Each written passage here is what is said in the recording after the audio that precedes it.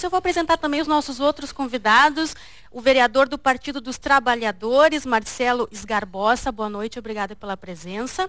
Ele é o autor da lei que previa um tempo mínimo de 30 segundos nas sinaleiras para pedestres em Porto Alegre. Também está aqui o coordenador de planejamento semafórico da EPTC, Paulo Ramires. Obrigada também pela presença, Paulo.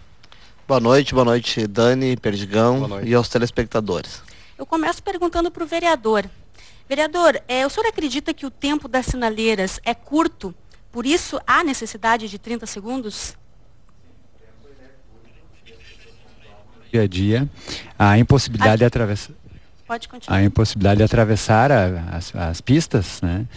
Quando são duas é pior ainda, mas muitas vezes quando é uma só, a pessoa está no meio da travessia e ela estava de prontidão, esperando, ela não perdeu nem um segundo no momento que abriu o sinal.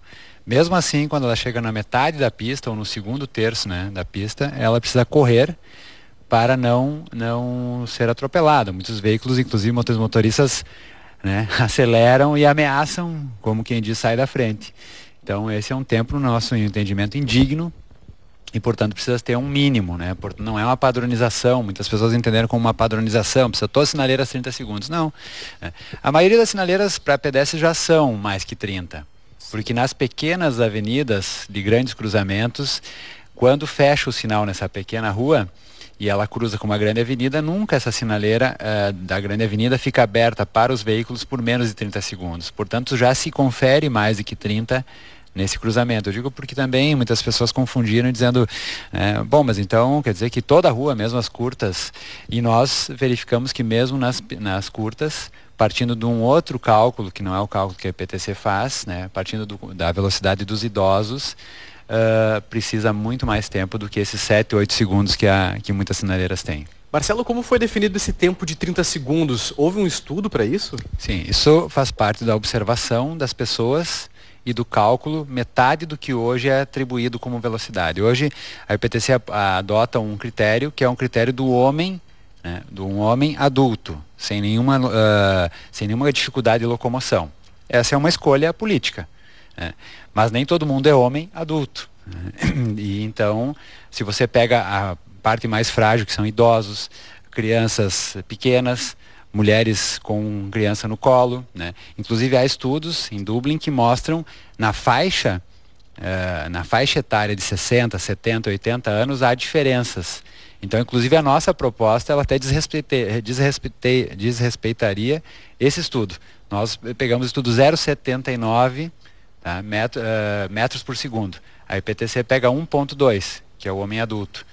Certo? Esse estudo condenou 0,73. Então, quer dizer que teria que ser mais lento ainda. Mas, enfim, é só para dar um exemplo de que nós partimos de, uma, de um conceito diferente, um conceito do mais fraco a IPTC parte do conceito do mais rápido. Então é Paulo, injusto. É, né? quem circulou pelas ruas de Porto Alegre né, no dia do teste dos 30 segundos, viu que o trânsito estava bem mais congestionado. Qual a avaliação da IPTC, então? Como foi feito esse teste? É, bom, Dani, eu, eu vou começar uh, falando um pouquinho da questão de como é medido, de como é estabelecida essa programação, uh, definição de tempo de travessia para os pedestres, tá? É, como o, o, vereador falou aqui, tem muitas sinaleiras em Porto Alegre e, e em, em, outras cidades que elas já trazem um tempo uh, bem próximo, pouco para mais, pouco para menos desses 30 segundos, que são aquelas travessias que acontecem de forma paralela, paralelas às vias de grande movimento. Uh, por isso mesmo, uh, mesmo nessas sinaleiras, quando é aplicado esses 30 segundos, ela respeita uma, uma normativa, ela respeita uma técnica, um, um modelo que não é utilizado só em Porto Alegre, que é utilizado no Brasil inteiro, em, em outras cidades do mundo, que é referendado uh, na engenharia de tráfego. É, então, quando a gente utiliza a questão de que o vereador diz de 1,2 metros por segundo, é, são em pouquíssimas sinaleiras. A grande maioria dessas das sinaleiras, inclusive, eh, não só essas, não estou falando agora dessas paralelas, mas as transversais, as avenidas, elas, a gente utiliza um metro por segundo né, que já é menor do que o, a, a, metodologia aplicada indica como um, um, um tempo adequado para ser usado. Uh, mas nós, por opção, né, por uma questão uh, de perceber essa especificidade de cada um dos locais, a gente já utiliza um metro por segundo na maioria das travessias. Uh, também é importante dizer que, uh, dependendo do local, em todas as, as que são implantadas, a gente vai a campo fazer a verificação. É, é dependendo.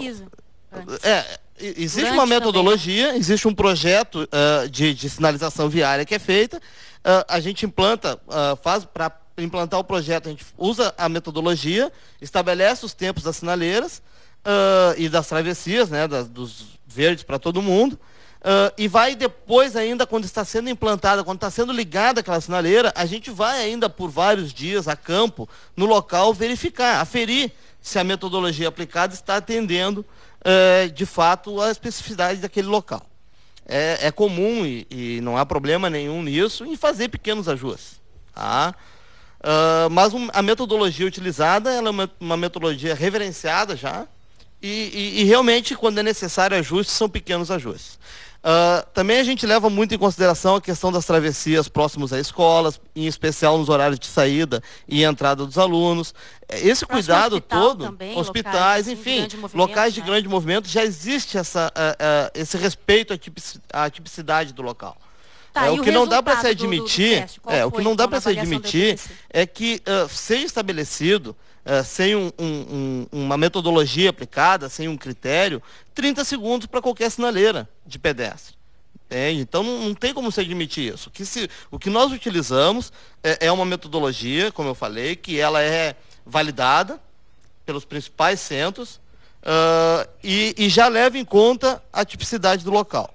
Quando a gente pega e, e começa a, a estabelecer uh, tempo de travessia, é importante também que os telespectadores saibam que o tempo destinado à travessia em cada uma das, das uh, sinaleiras, ela não é só aquele tempo de verde que aparece, que as pessoas conseguem ver uh, na sinaleira de pedestre. Né? Que ela começa, como o, o vereador bem falou, em alguns locais em 10 segundos, 11 segundos. Ela tem esse tempo de travessia, que regride para mostrar para a pessoa o quanto está evoluindo aquele tempo destinado para ela. Uhum. E quando esse tempo se esgota, ainda há um tempo de alerta, que é o momento aquele que a mãozinha vermelha está piscando, que aquilo ali também é tempo de travessia. Quanto tempo a mais? Geralmente são três segundos. Tá? Pode variar entre 3 e 5, mas estou usando aqui o menor tempo que é utilizado em alguns locais. Depois desse tempo de alerta, de mãozinha piscando, uh, também tem a questão de um momento que fica fechado, que a, mãozinha para de piscar, pra, eu estou gesticulando e, e, falando em mãozinha para que as pessoas sim, entendam bem sim, o que, que é. Que a mãozinha para de piscar e fica fixa no vermelho. Ainda ali tem uh, entre um e dois segundos que não abriu para os carros ainda.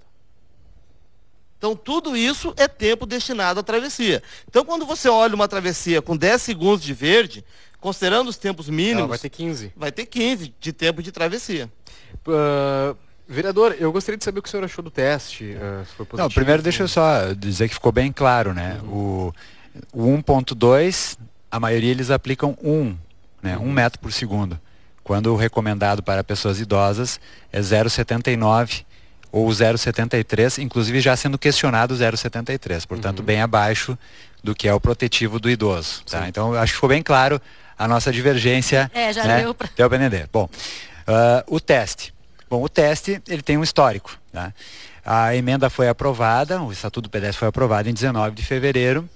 Imediatamente, sem nenhum estudo, o diretor-presidente da IPTC uh, alegou que era impossível, né? nem, nem cogitou nenhuma mudança, baseado nessa ideia de que já há estudos. Né?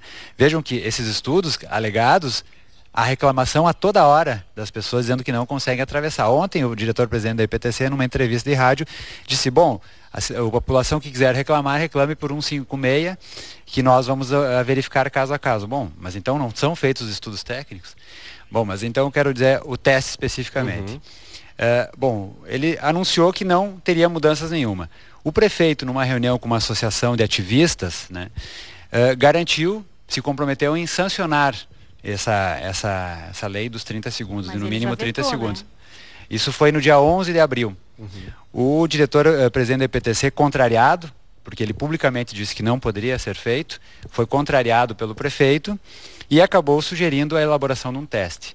Então vejam que esse teste já foi feito, digamos assim, a contragosto do próprio diretor presidente da IPTC. E o resultado não poderia ser diferente. Né? Primeiro, a nossa emenda, que eu tenho ela aqui, né? Eu trago ela comigo, diz eh, especificamente que as sinaleiras de pedestres serão programadas, de modo que o tempo mínimo para a travessia será de no mínimo 30 segundos. Portanto, as sinaleiras de pedestre.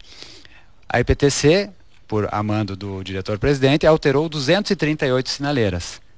Dessas quantas? Dessas, 132 de... são de pedestres. E a maioria dessas 132 já tem mais que 30 segundos. Uhum. Certo? 182, então, uh, vereador. Desculpa, bom, é então, tudo bem, então. 182. Bom, então, mas mexeram em mais do que estava previsto. E eles mexeram num tempo que nós não cogitamos.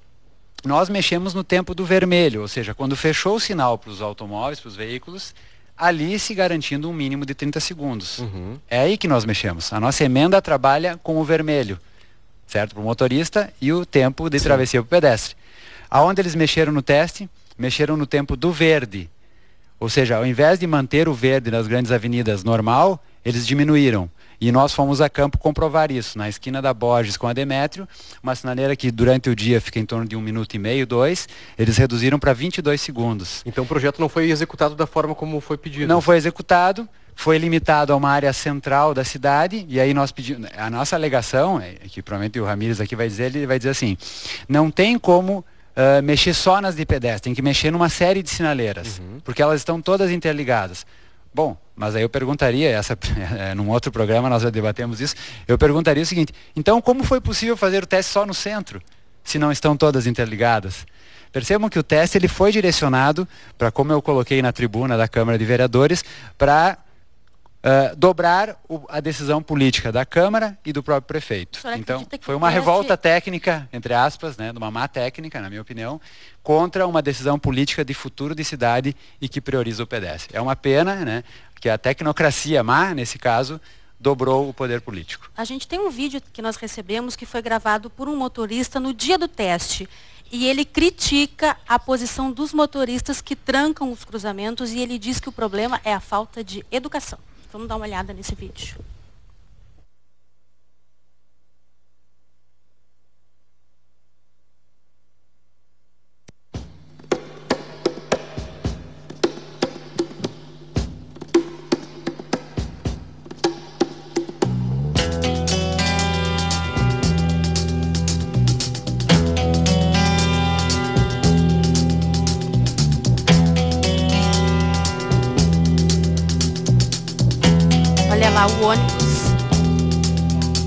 Carros trancando a avenida. Pode falar, tá? Pode usar o microfone, pode usar o microfone. Pode falar? Isso. Tá, vamos lá. Tá no ar. Bom, então eu recebi denúncias de várias pessoas no trânsito dizendo que existiam fiscais da EPTC que não atuavam nesses momentos. Mantinham o trânsito assim. Eu, né, eu sei que a, a denúncia está lá, está registrado, né? Eu não vou fazer disso uma assim uma uma CPI, né, para investigar Mas isso. fica um tumulto, né? Tá é, Dani, então, assim, deixa eu também dar uma colaboração sobre esse vídeo aí. Sim, Interessante esse, é, mostrar esse local, né? É, comprovando, né? Mostrando, uh, contrário ao que diz o vereador, como não é possível mexer somente num, num local, uh, numa sinaleira, que se precisa levar em conta uma rede de sincronismo, uma rede de sinaleiras, uh, um sistema semafórico da cidade. Neste caso aí, especificamente, vejamos que ali é um problema grande de ônibus, né, naquele Sim. vídeo. Uh, passa, e os né? ônibus, e os ônibus, uh, uh, eles seguem reto pela João Pessoa. Todos os ônibus que ali estão, eles seguem reto, com exceção de uma linha, se eu não me engano, que é a agronomia, que entra à esquerda na Ipiranga. Mas o restante todos vão reto. E aquele movimento ali na esquina com a Ipiranga, no dia do teste, ele estava com 18 minutos, 18 segundos de verde a mais para os ônibus do que habitualmente tem. Veja bem como é sistêmico o negócio. Lá, Ali na, na próxima sinaleira, na próxima sinaleira, no próximo cruzamento, ele tem um verde superior ao que tem habitualmente, mas no entanto ele não conseguia andar.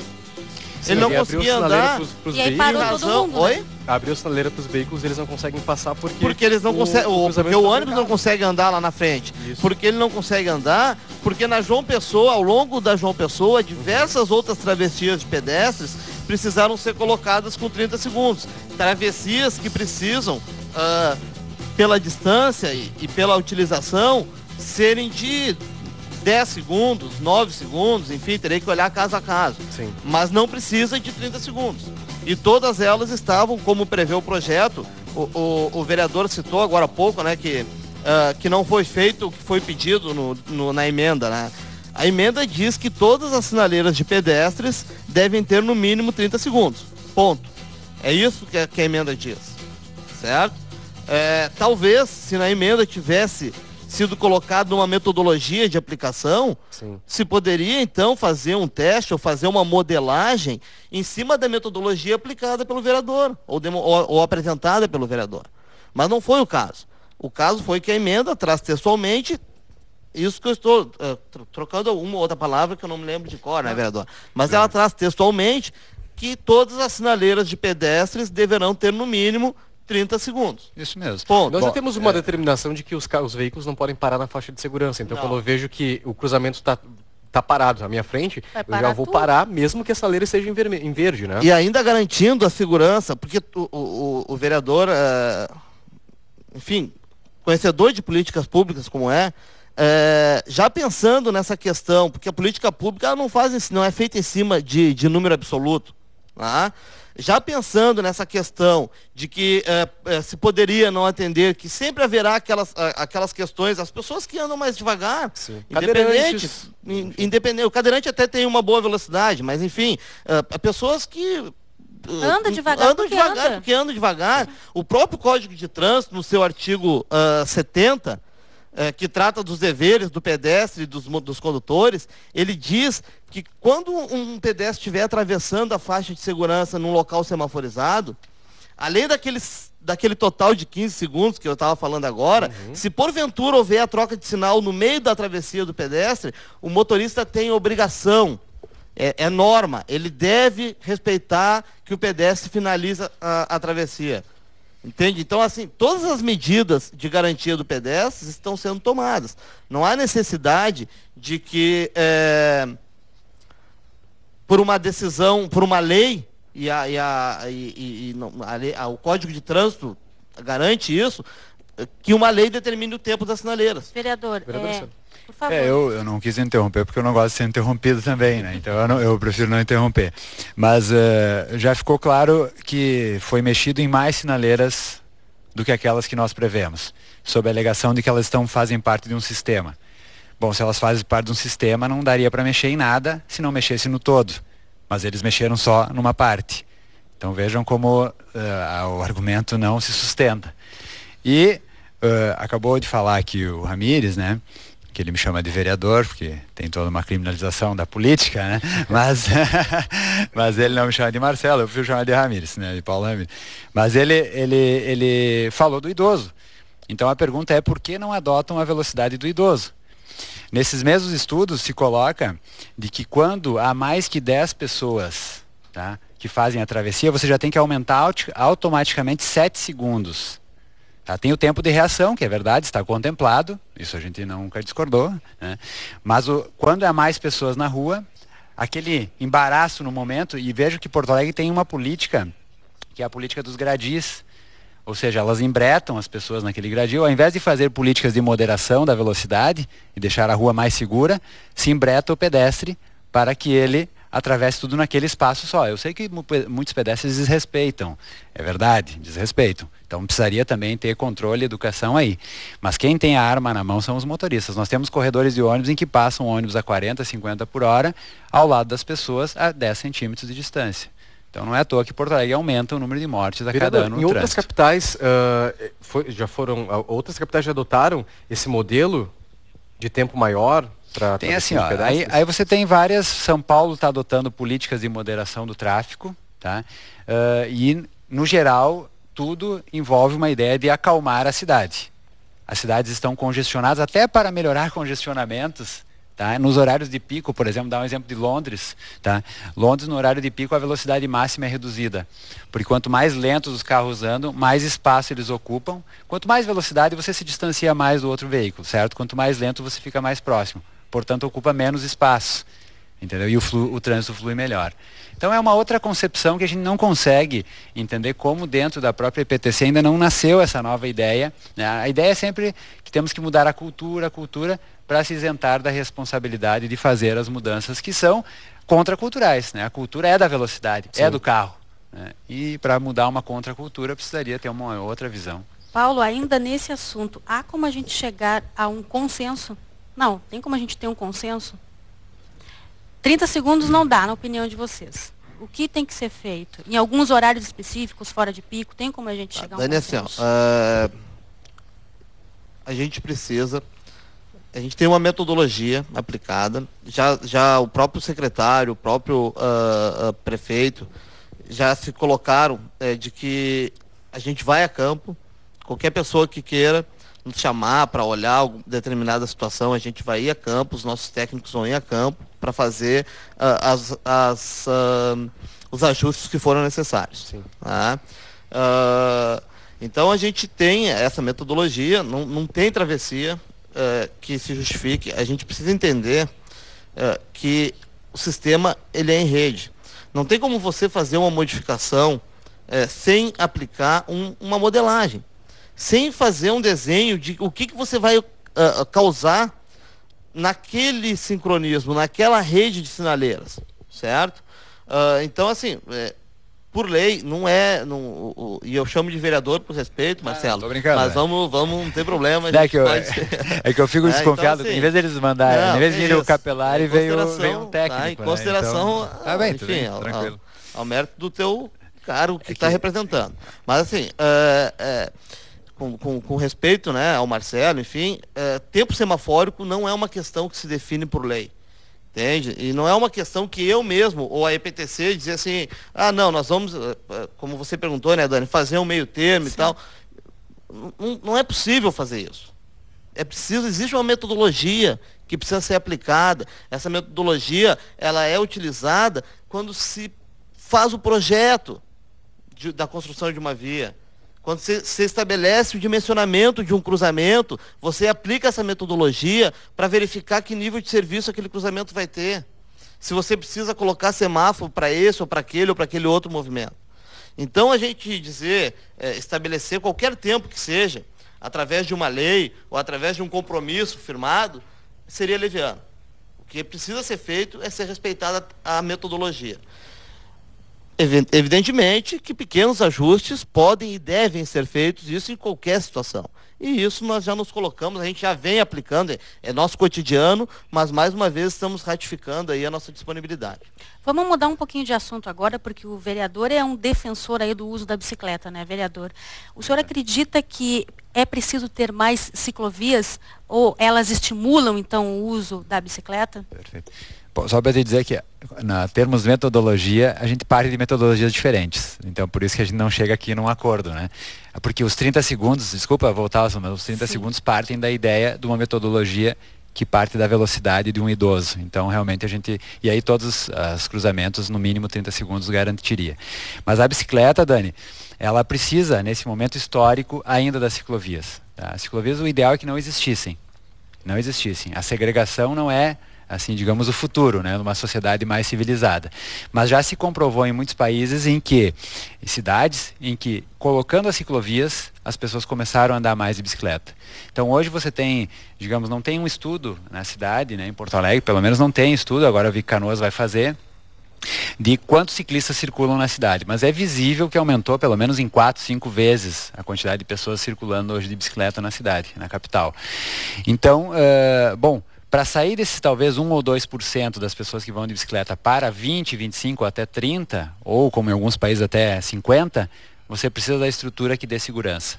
Então, infelizmente, nós precisamos de educação para o trânsito e a infraestrutura que são as ciclovias. E Porto Alegre, por enquanto, tem 20 e poucos quilômetros de um total de 400 previstos no seu plano diretor cicloviário. Nosso tempo está acabando. Eu queria agradecer a presença de cada um de vocês e as considerações finais. Eu sei que vocês não vão chegar a um acordo tão cedo, mas que cada um dê a sua opinião final bem rapidinho, que a gente já está acabando. Tá? tá certo, vereador? Bom, eu, eu, bom, eu diria o seguinte, né? essa ideia de que não é possível estabelecer um tempo mínimo, né?